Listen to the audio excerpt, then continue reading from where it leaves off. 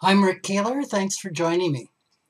If you were given a magic wand and you could change anything about yourself that would improve your financial and emotional well being, what would it be? I, I think this is a relatively hard question. Maybe not. It's not about changing your financial circumstances, right? It's uh, not about, okay, if I won the lottery or I inherited a fortune, but about changing yourself.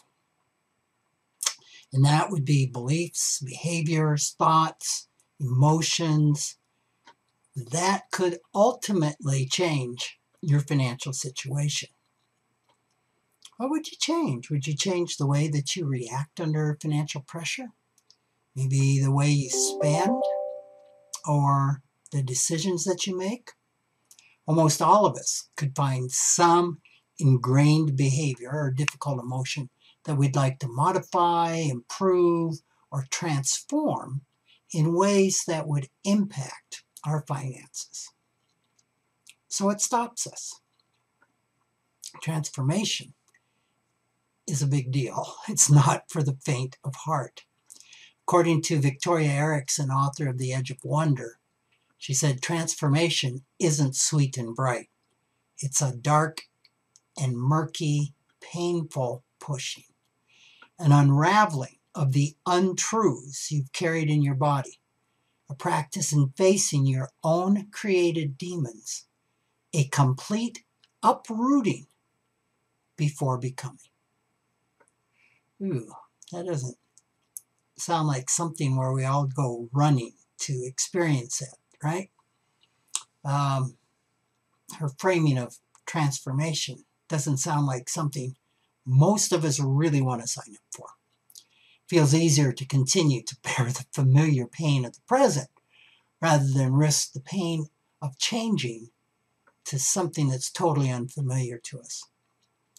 We typically only undertake transformation when the importance of changing can no longer be denied, can no longer be avoided, or swept under the rug.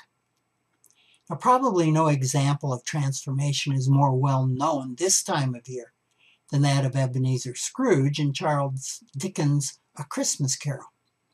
Within this popular Christmas fable lie some profound truths uh, truths that we can learn about the path to transformation.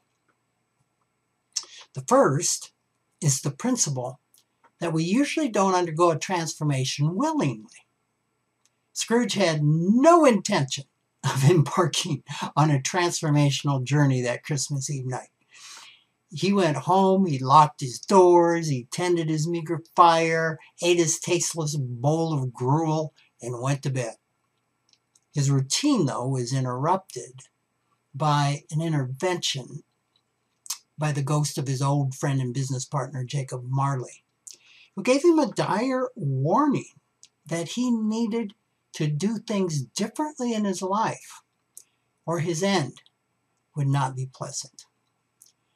Marley tro- told Scrooge that he'd tried to get his attention for many years but for some reason, this year, Scrooge saw and heard him. You know, this is how interventions typically work. Often people in our lives try to wake us up, to warn us of the potential negative consequences of attitudes and behaviors. Yet we are usually oblivious to and dismissive of their warnings, especially those closest to us, until one day we hear them or someone else saying the same thing. The key to transformation that Marley gave Scrooge visit your past so you can clearly see what's in your present, so you can create a different future outcome. Now, visiting the past requires a lot of courage. As Erickson said, it is that dark and murky place that unraveling of untruths and complete uprooting. This is the place of becoming willing to revisit the events of the past in our lives where our strongly held delusions were so concretely formed. Scrooge resisted this step. He tried his best to skip over it. Yet his guide, the ghost of Christmas past, gently turned him toward his past. Bringing objectivity and understanding to entrenched financial delusions is not easy. Many people want to focus instead on obtaining more information on how to save, how to invest, how to spend wisely. We try our best to jump into the present without visiting the past. Yet, what we need most for transformation is emotional awareness and intelligence, which can't be learned academically, from books, or developed by one's self. It's got to be learned emotionally, experientially, and in community. So, the good news is Scrooge found a guide in the Ghost of Christmas Past. Someone today can find assistance from financial advisors or financial therapists. This is a journey that rarely can be taken alone. Thanks for listening.